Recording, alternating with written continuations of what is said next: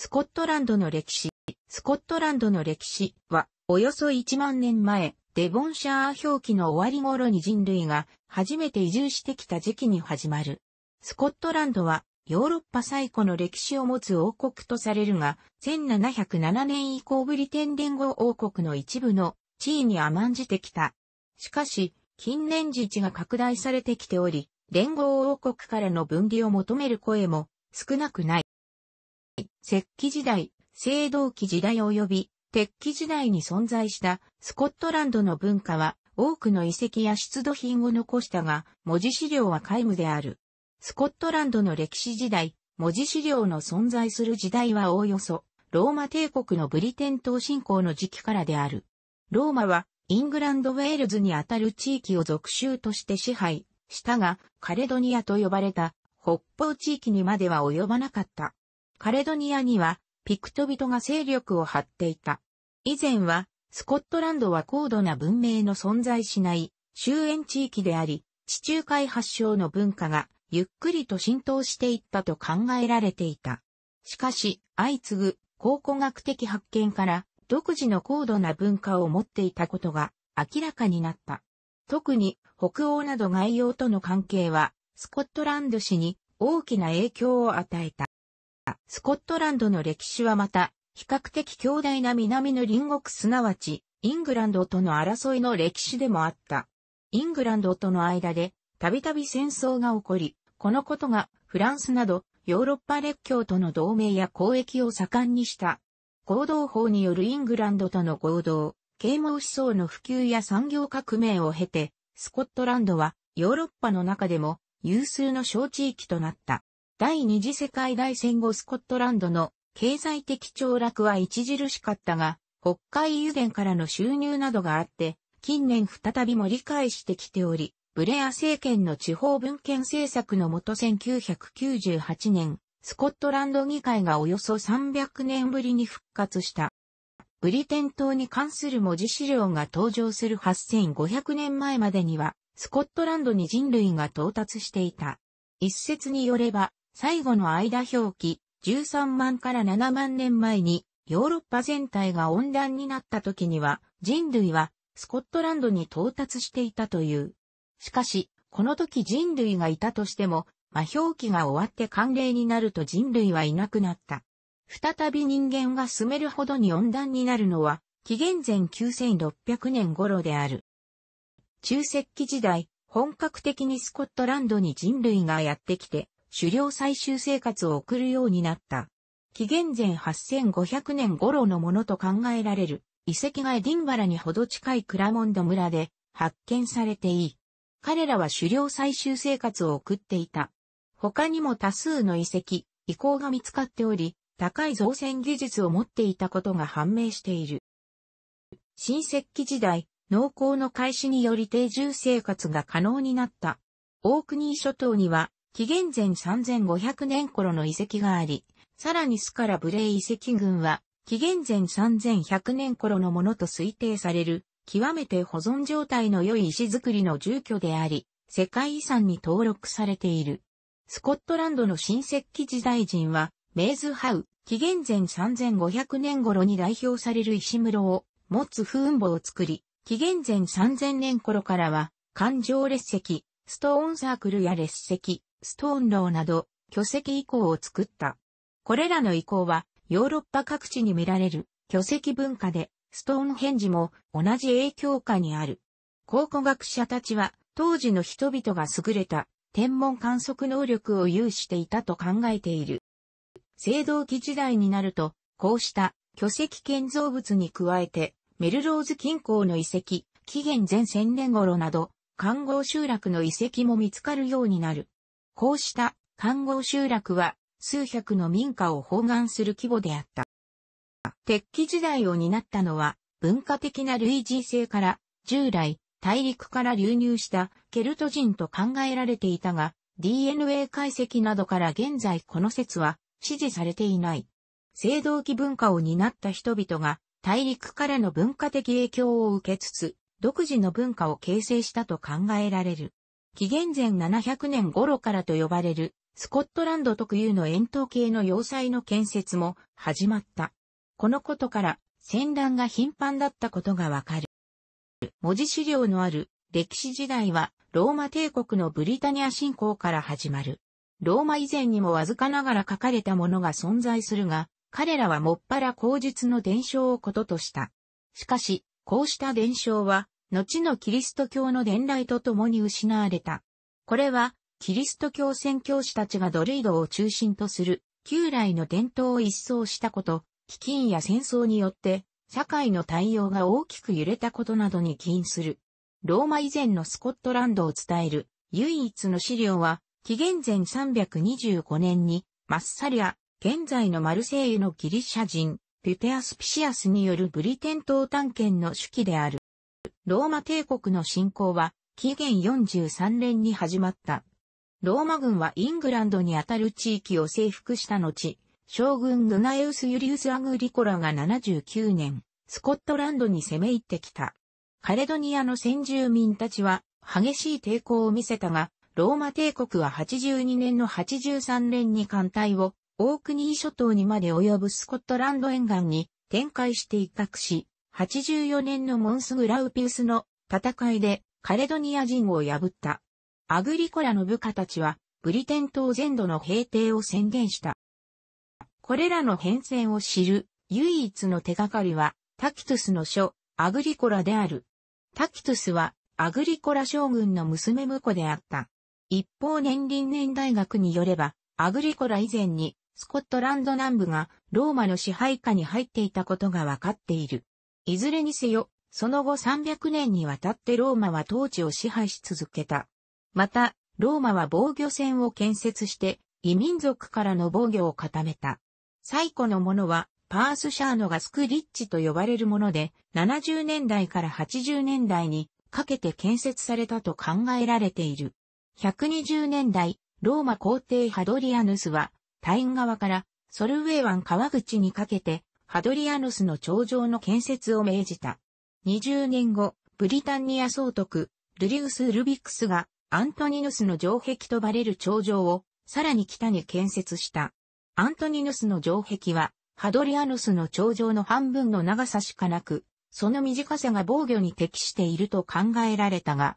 結局その防御線を維持し得たのは20年に満たなかった。160年頃には、ローマの北端は再び、ハドリアヌスの頂上まで後退し、ローマ人たちは、カレドニアの直接支配を結局諦めた。この理由は人口密度が低すぎて、徴税効果が上がらないであろうこと、及び気候、風土がローマ人に合わなかったことなどであったと考えられている。ローマのカレドニア支配は、などを通して間接支配という形をとっていた。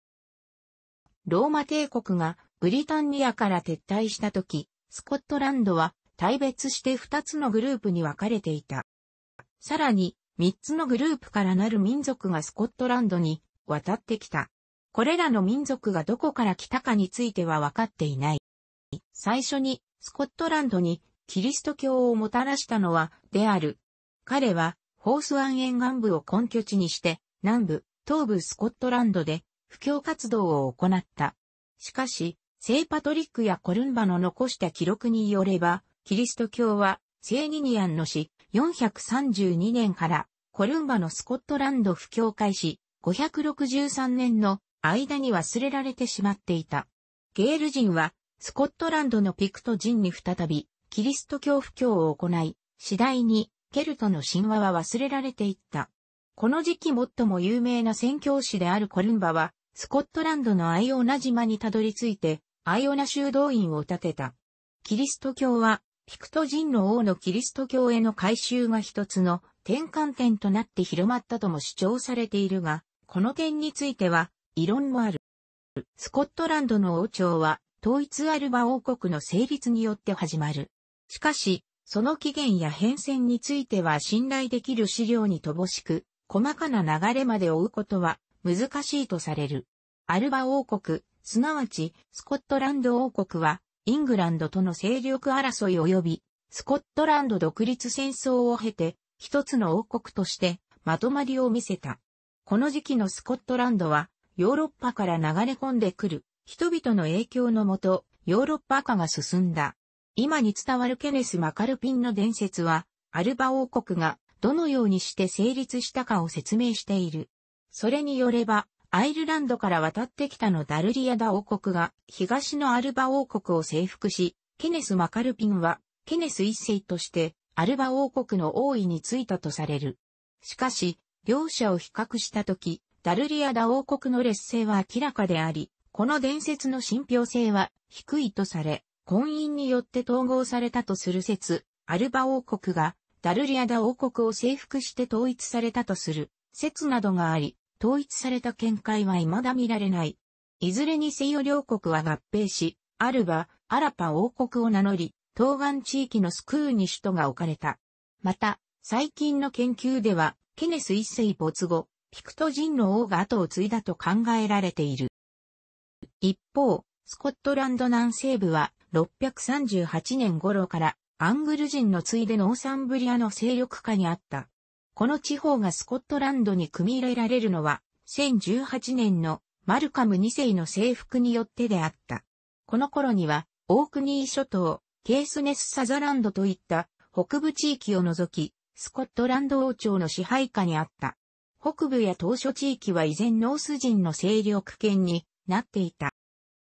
この頃確立されたタニストリーという王位相続制度によって、スコットランドは二つの家系が交互に王位を継承していた。タニストリーは王の生前から後継者を決めてあるため、後継者にしてみれば王の創生が望ましかった。結果、王の暗殺事件が頻発することになる。戯曲、マクベスは、こうした社会的背景によって起きた事件の物語である。ノルマイコンクエストに始まる外との接触は、スコットランド史に新たな展開をもたらした。一つには、イングランドとの勢力争いが顕在化したこと、もう一つは多様な民族の流入と、社会、文化の変化である。ウィリアム一世らイングランド諸王は、ノルマンコンクエストの延長として、スコットランドにたびたび侵攻し、時にはスコットランドを屈服させることもあった。この頃からイングランドとの抗争が日常化し、双方の境界線はハドリアヌス長城を上下した。エドワード一世のスコットランド侵攻とウィリアム・ウォレスの抵抗も、その文脈の中で起こった事件だった。スコットランドは、対イングランド戦略の必要性からフランスと古い同盟を結んで対抗した。その後しばらく、フランスとは友好関係を維持するが、古い同盟は、フランスの属国化を意味す体制でもあった。エドワード一世の征服により1296年、イングランドに屈服して、王座のシンボルであったスクーの石を奪われた。しかし、10年後、ウィリアム・ウォレスらが反乱を起こして、独立戦争が起こった。この戦争は、曲折を経て1318年には、実質的独立を達成し、1328年になって、イングランドとの和訳も成立した。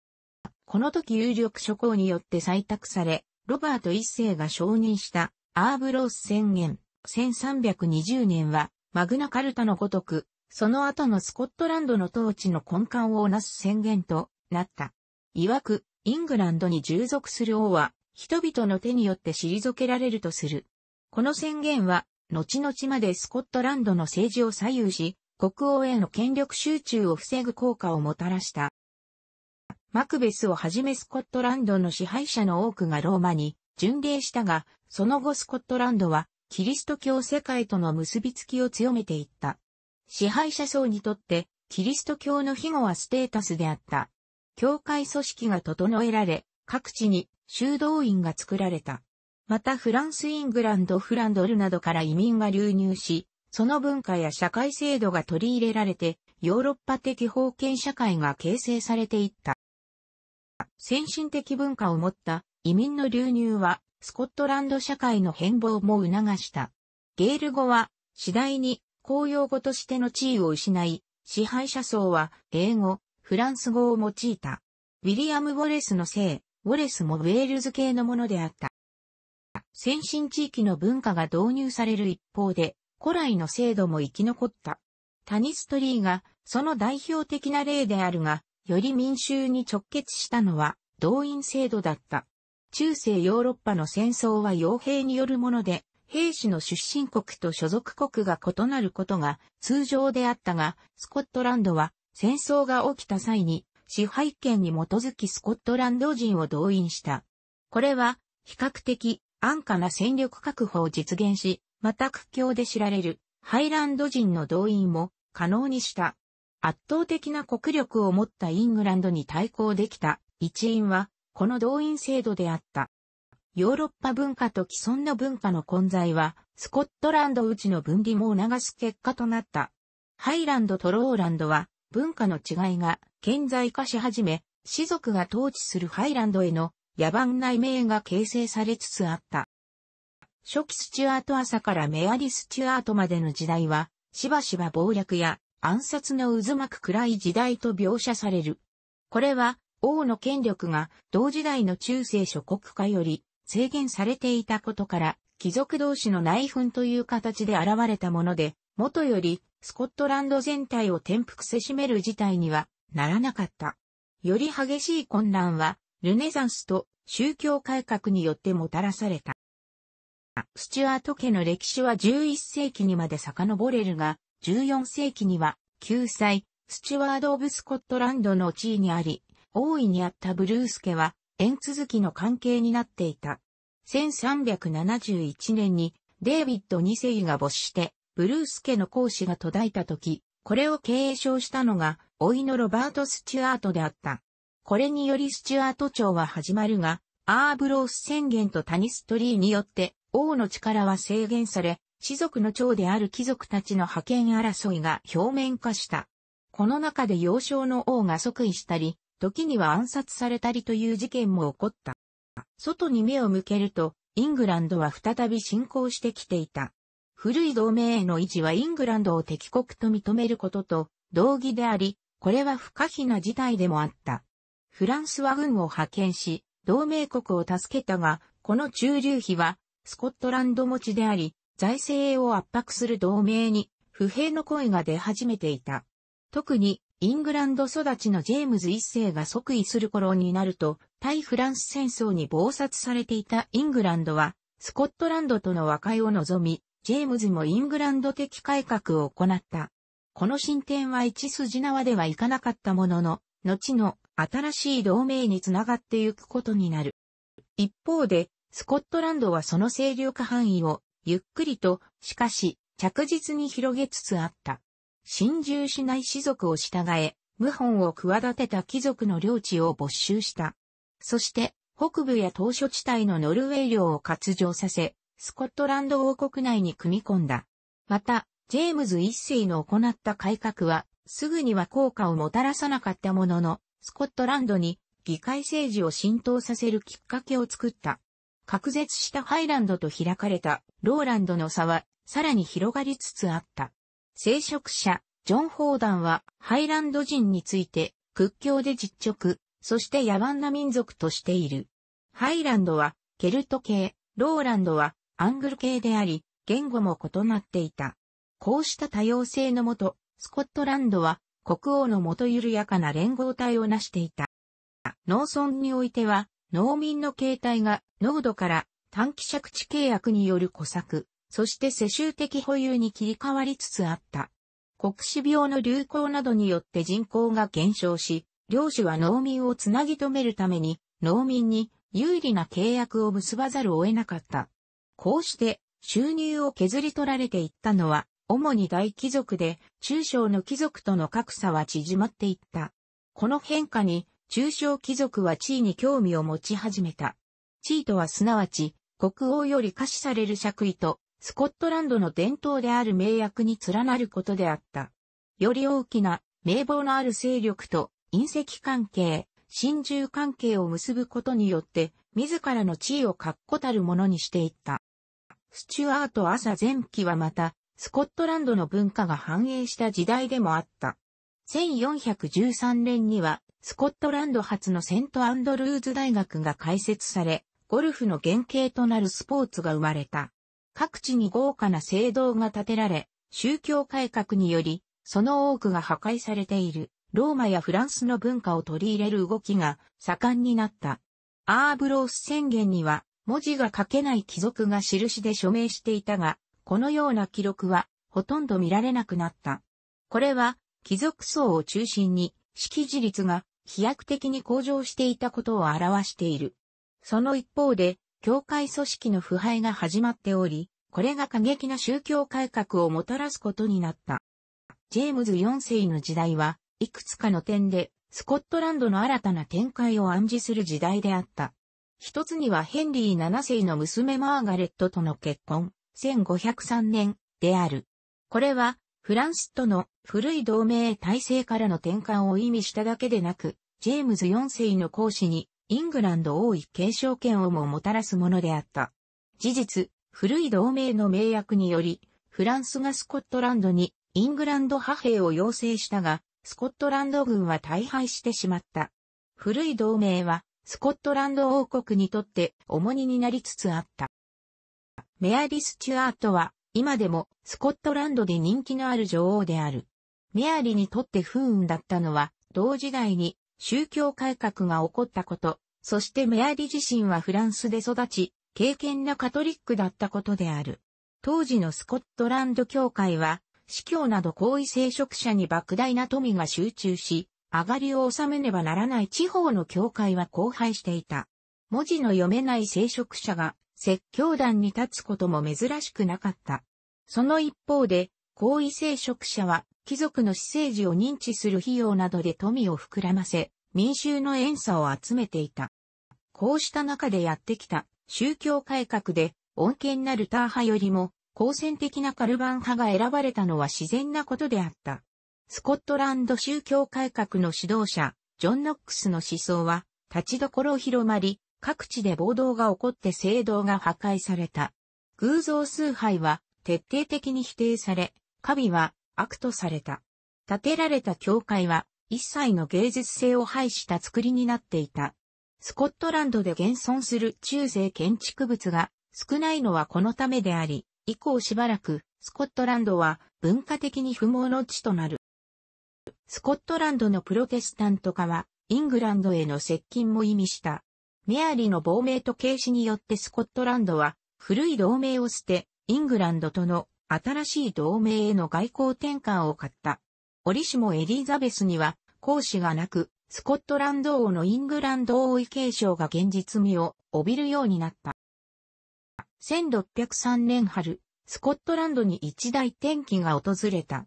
エリザベス一世の死によって、ジェームズ六世にイングランド王位を継承してほしいという旧士がやってきたのである。メアリ・スチュアートが叶えられなかったイングランド征服の夢を息子のジェームズは無血で叶えることとなった。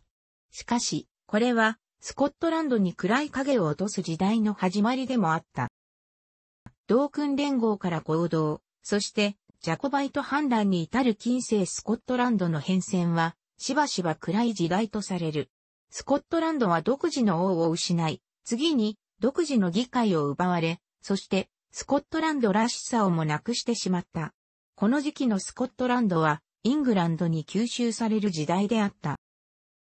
エディンバラからウェストミンスターに移ったスチュアート家の王たちはほとんどスコットランドに戻ろうとしなかった。スコットランドには担当国務大臣を置き、それが摂政となって行政に当たることとなった。この転機は、三王国戦争、新、京都革命によってもたらされた。監督制協会のイングランドと長老制のスコットランドは協議をめぐって衝突し、主教戦争から、そしてクロムウェルによるスコットランド征服という事態を招いたイングランド内戦。この時、共和制イングランドが施行した公開条例がスコットランド経済に打撃を与えた。この条例によってスコットランドも外国とみなされ、ロンドンや植民地の港から締め出されたのである。スコットランドの経済は徐々に衰え、困窮にあえぐようになった。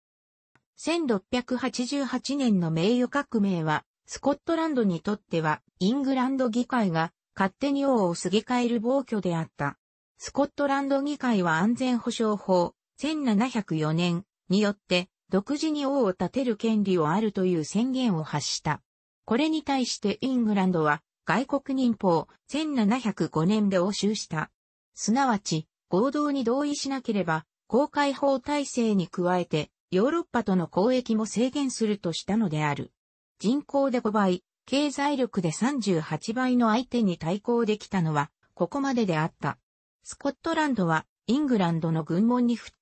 た。合同法による両国議会の統合は、スコットランドが独立を最終的に放棄した活気であった。これは何より、経済的に追い詰められたスコットランドに残された唯一の都だった。公開条例で締め出されたスコットランド経済は停滞し、さらに基金が追い打ちをかけた。起死改正を図ったダリエン計画は、イングランドの妨害に相破綻し、自力の経済再建は不可能になった。スコットランド議会は1707年1月16日、自らの解散を決議した。当然ながら、この行動に反対運動が巻き起こった。ジャコバイト運動は、これを機に、スコットランドの独立を取り戻そうとする運動でもあった。1715年の反乱の手際が良ければ、独立は成功していたかもしれないと今でも指摘される。しかし、この反乱は結局鎮圧され、さらに、グレン校の虐殺や士族制度解体が行われた。イングランドへの恨みと背中合わせに、ローランドを中心にイングランド化が進んでいった。18世紀後半から19世紀にかけて、スコットランドは著しい社会の変化、経済成長を経験した。ヨーロッパの一辺境から大西洋貿易のターミナルとなり、産業革命の中心地としての地位を確立した。これは、スコットランド人の企業精神などの大規模な囲い込み、大学改革及びイングランド公開法体制下に入ったことなどが原因とされている。18世紀も後半になってから合同の経済効果がようやく現れてきた。公開法体制の内側に組み込まれたことにより、アメリカ大陸との交易が活発になった。そこから製造業が広がり、畜産物、穀物、綿織物から19世紀に至って鉄鋼業、石炭業も活発になった。スコットランドの都市化、人口増が急速に進んだ。この経済成長と人口増はいくつかの原因が指摘されている。当時、イングランドの批評家、サミュエル・ジョンソンは、辞書、英語辞典、エーディクシ1755年のカラス麦の項目で、右のように説明している。カラス麦イングランドでは馬の飼料だが、スコットランドでは人間が食べる。それに対し、弟子にあたるスコットランド人のジェームズ・ボーズウェルは、故に、イングランドの馬は優秀で、スコットランドでは人間が優れているとやり返した。は、多くの起業家、知識人を輩出した。蒸気機関を改良したジェームズ・ワット、社会学の祖とされるジョン・ミラーそして作家ウォルター・スコットなど当時の優れた人材ではイングランドを凌駕していた。知識人の多くは海外でも活躍し、日本においては神戸大学校、東京大学工学部の前身の初代総長となったヘンリー・ライヤー、同じく東大医学部の前身東京医学校の初代校長、ウィリアム・ウィリス、そして軽井沢開発のアレクサンダー・クロフト賞などが有名である。多くの技術が実用化され、イギリス産業革命はこうした人物によって支えられた。イギリス帝国の繁栄とスコットランドは相見互いの関係にあった。世界中の植民地を交易先とすることで、スコットランド産業は成長を続け、スコットランドの造船業、機械工業はブリテン連王国の経済を牽引した。しかし、20世紀初め頃から経済は失速し、次第にスコットランドの地位は低下していった。二つの大戦はスコットランドの産業に致命的な打撃を与え、ナショナリスト勢力が広がりつつあった。19世紀後半から20世紀初頭にかけて、スコットランド中んずく、グラスゴーの造船業、機械工業は、イギリス帝国経済にとって不可欠な存在だった。世界の工場とも呼ばれ、ブリテン連合王国の中でも発展は北にありと言われるほどの繁栄ぶりだった。第一次世界大戦はスコットランドに辛い影響をもたらした。失業と貧困のせいで兵の募集に応じる率が高かったので、戦争による被害も大きかったのだ。英国におけるスコットランドの比率は人口では10%だったのに、兵の数では15%となり、死者の数では20%となった。スコットランド経済は第一次世界大戦の頃から徐々に地盤沈下していった。この理由として以下が挙げられている。このようなスコットランド経済の停滞は、ブリテン連合王国内でのスコットランドの地位をも押し下げ、次第にお荷物扱いされるようになった。1930年代に世界恐慌が訪れると、スコットランドも深刻な経済不況に見舞われた。社会不安の中で、左右両イデオロギーの急進的勢力が広がり始めた。特に右派のナショナリスト政党は、後のスコットランド国民党につながることになるが、これは連合王国の枠内にとどまりつつ、すなわち、経済的恩恵を留保しつつ、スコットランド独自の外、国防などを実現するものであった。第二次世界大戦では、エディンバラやグラスゴーといった主要都市がドイツ軍の爆撃に遭い、スコットランドは甚大な被害を受けた。多くのスコットランド人が徴兵され、中、特にハイランドの過疎化に拍車をかけた。大戦中にスコットランドは兵艦調達面で寄与し、フランス・ベルギー戦線に参加した。さらに、ソビエト連邦への物資援助も行っている。